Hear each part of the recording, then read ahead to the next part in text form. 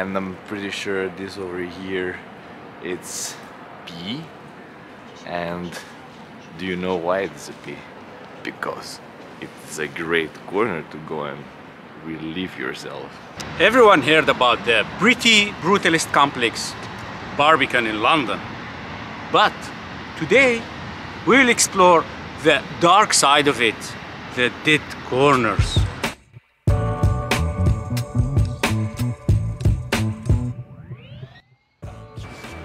As you can see, right now we're in the heart of Barbican in London and today we will explore a different perspective of the Barbican. We will try to detect all the hidden corners and wasted spaces in this residential complex. Let's see. Right next to the main gate uh, to, that gets you in the complex and on the other side we have a place like you're going to like some kind of a hall. You find like a hidden corner like this one over here that's like filled with nothingness. So maybe you can see between all the columns there is like a little tiny air pockets and we want to go to squeeze in. Like it's like this, like what was the purpose of this? Most of the architects would agree on the following. Columns are beautiful, especially when they're specifically designed as an accent of an open public porch or promenade. However, the visual qualities of one building must be always in correlation with the spatial qualities of the space. For example, no matter how beautiful these columns are, walking around these columns during the nighttime might be a quite unpleasant experience. And that's maybe the biggest issue with this kind of architectural complexes from that era, especially that maybe aesthetically, as you can see, they look very interesting and they have certain kind of artistic value, but in spatial manner doesn't really make sense. We strongly support the idea that a public space must be an integral part of any architectural and spatial intervention. However, designing the urban equipment in certain style that has been designed by one exclusive and monodisciplinary team can frequently generate problematic spaces. For example, have a look at the urban equipment of Barbican. This big kind of concrete patch and under it you can see like a little gap.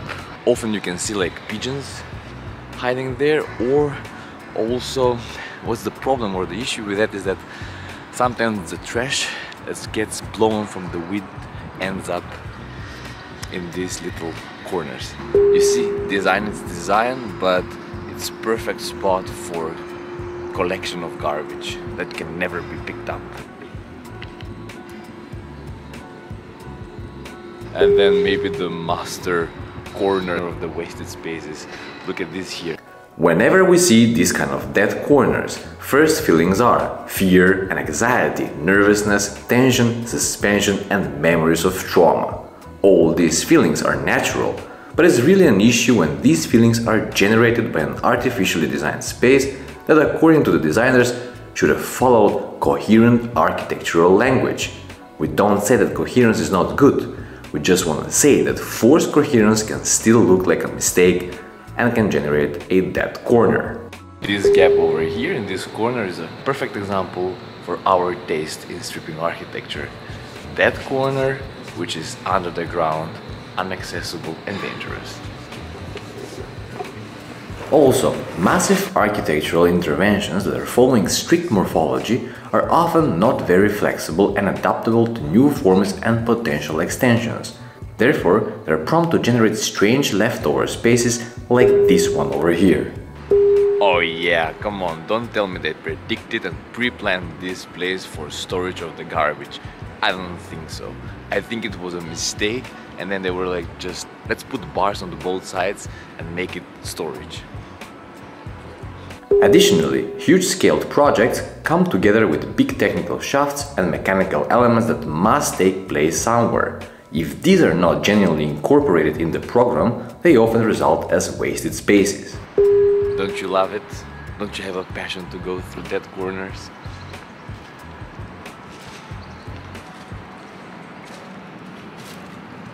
Yes! Oops.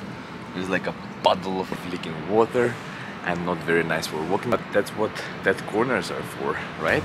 To get nasty and sloppy. So they had a chance here to make a nice space that will like merge this space together with the entrances from the building, but no, they said like, fuck it, we need more wasted space and let's put this kind of glass barrier here and make it weird.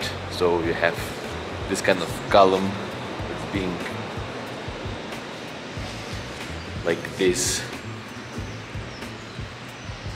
wasted Consequently, it is a problem when valuable architectural elements, such as terraces, squares, fountains, become slaves of the architectural style, and instead of qualities, they morph into underused spaces.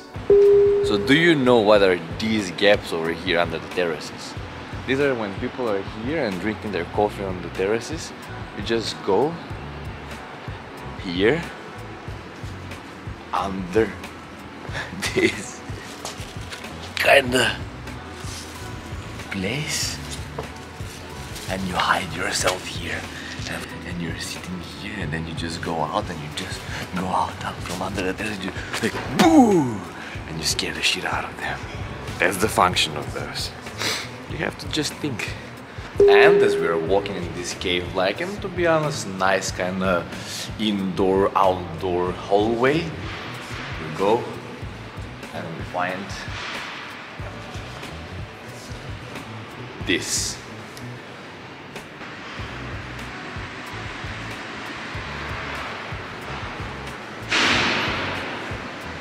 If you're asking me that little path over there on the edge it's also a dead place because no one can use it. They even blocked it there with a railing. And then this little stylish concrete platforms to the water there are also a little bit of a dead spaces because there is no safety guard and no one can use it since they're barely accessible for anyone unless you're a good swimmer and young person. Then, as we were exploring the lower levels of the Barbican, we have actually discovered the mother of all dead corners, a big giant abandoned concrete cave. And we have also found maybe a family of dead corners, which takes a large portion of the subterranean level. Just keep looking behind me. It's that place where zombies live. And after this, we were convinced that Barbican in London is maybe just a giant festival of dead corners. You can literally find them anywhere and in different shapes. Dead corners are trying to hide from me, but I have a very good sense for them. I can find them wherever they are.